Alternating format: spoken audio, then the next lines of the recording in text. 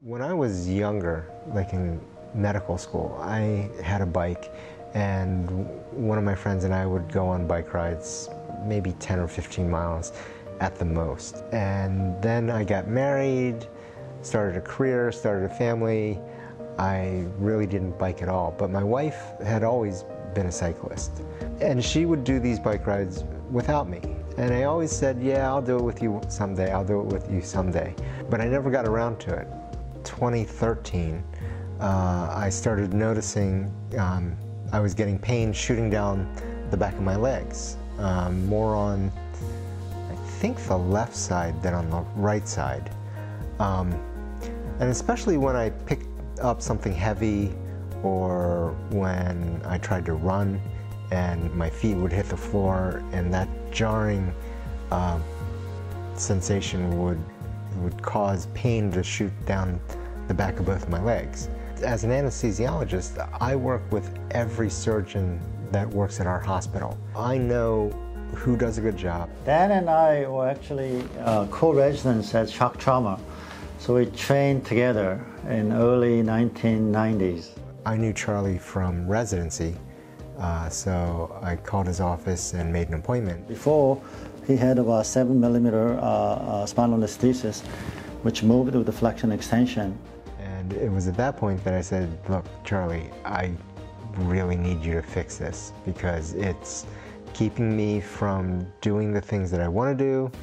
As an anesthesiologist, I have to push patients around on stretchers. Um, I have to help move the patient from the stretcher to the OR table sometimes and from the OR table back to the stretcher sometimes. If I couldn't do that without pain, then that significantly restricted what I could do at work. But I wanted to get back to 100% functionality.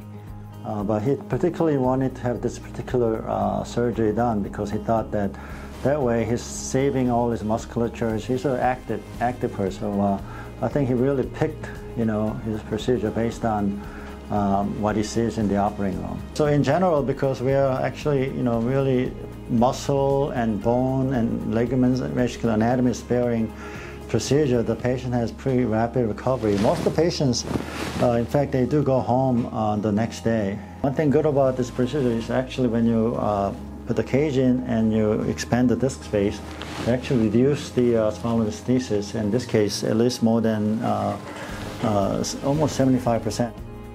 I noticed that just laying in bed or sitting in a chair that I didn't have the pain that I had had before.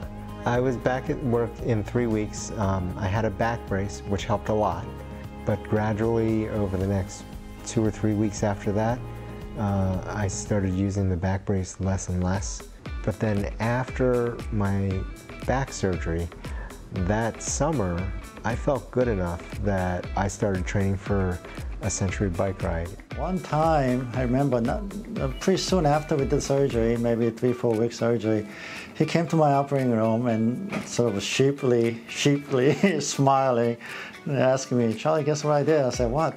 He goes, I went a bike road for like 100 miles last week. I said, you did what? my surgery was in April, and that October, I did my first century with my wife.